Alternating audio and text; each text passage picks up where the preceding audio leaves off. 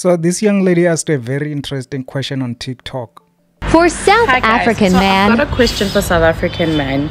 Why is it that you guys don't like dating outside of South Africa? Like, why is it that you'll only like date, like you'll only date South African women and not outside? Like, what's wrong with South Africa with people that are not from South Africa? Like, I'm trying to understand. And you know, we have to see what the people are saying in the comments. There are so many beautiful women here at home.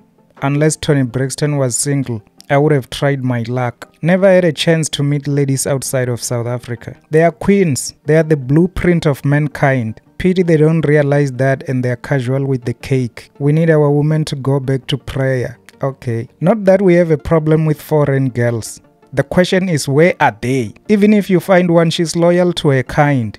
Those movies we used to watch on CDs got them scared. It's because they are not exposed to anything. They know nothing outside SA. Those two comments were from girls. Look, I've been wanting to and it never happened.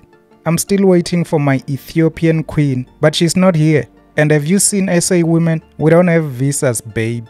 Numbers games. The opportunity is not there. Let me say it like this. You know when it's cold outside and you are inside in front of a fireplace with a big blanket? That's how dating SA girls feels like. Wow. There's nothing wrong with dating people who are not from South Africa. It's just that we are loyal to our South African women. We understand our own demons and we are proud. We don't have money to travel because we have beautiful queens that we love to death. Home ground advantage. We have best material so far. We're not ready to outsource. Nice. We are proud of South African women. And some of us understand our culture. We protect our bloodline and our sisters are wonderful to us. We do. We date in Lesotho, Botswana, Swaziland, Mozambique, Zimbabwe, and Namibia. Just example. We could, but we are too broke to visit USA, you know. South African women are beautiful, period. We support local businesses. If they don't date us, who will date us? They have to date us. That's another comment from a girl. I do date outside South Africa. I'm currently dating a Zimbabwean woman. I can't afford travel fees. Honestly speaking, I don't think I'll be comfortable dating outside my culture. Imagine explaining why I don't cut my nails at night. Here's a point. Since we are so lazy, we prefer our lazy companions. We are loyal to our brand. Those were some of the comments.